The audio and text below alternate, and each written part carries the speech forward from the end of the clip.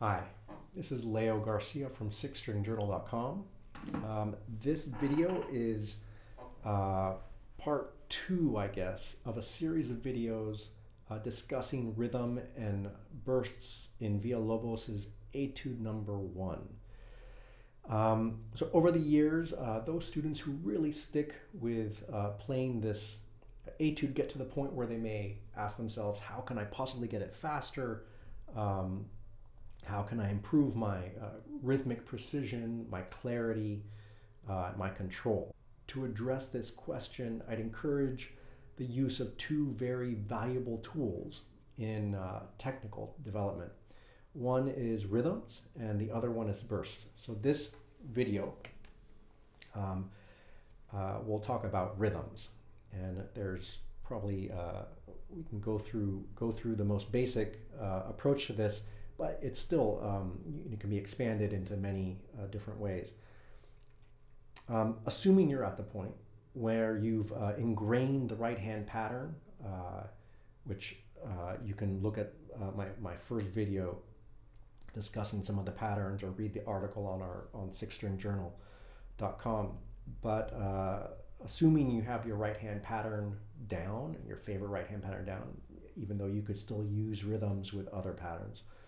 Uh, here are some ways to practice and incorporate uh, some common and maybe some uncommon rhythms into your practice of this study. So first one, uh, simply uh, starting off with dotted notes can be a useful way to practice. So let's pick one of the somewhere in here. So the pattern, as you just to review.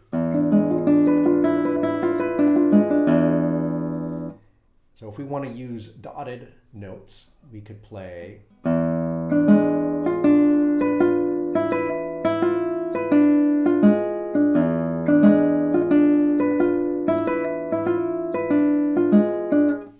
benefit of doing this um, is that you're starting to force yourself to think in pairs instead of in single notes. That's one, one advantage to doing this also is that it gives you ample time to both work on playing uh, two notes very quickly, but then it gives you a time to rest and recover, but also prepare what comes next. So you would do P, and then you would plant index, or whatever finger you're going to use. And then, now you plant index again plant M.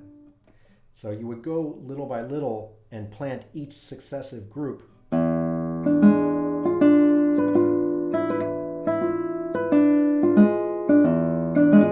you're training in the preparation. Um, so that would be a dotted eighth note and a 16th note. So you can just flip that, do a 16th note and a dotted eighth.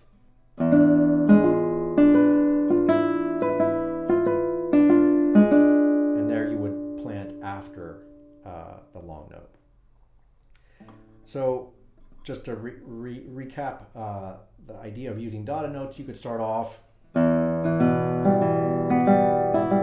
sorry, you could start off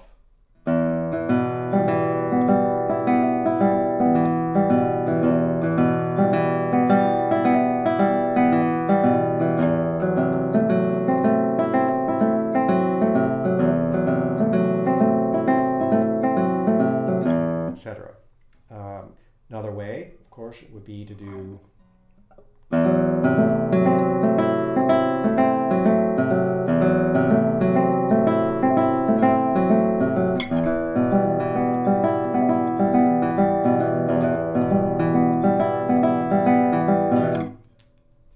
Okay, moving on, next group of rhythms. Triplets. This is a weird one because uh, it doesn't really align with our um, with our meter.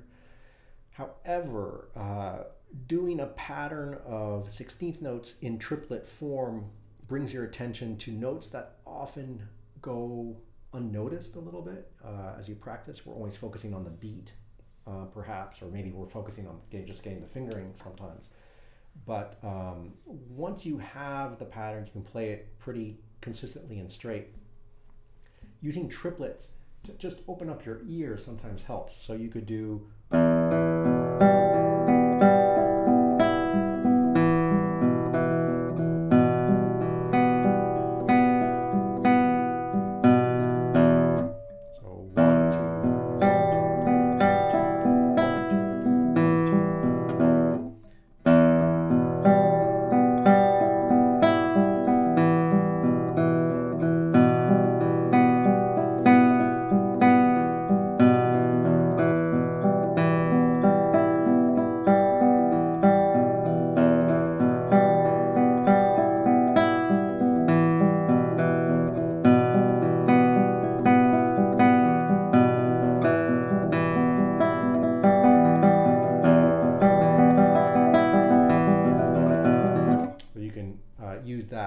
To uh, help balance out perhaps your um, your hand, or even just listen and uh, and make sure that you can control each note as it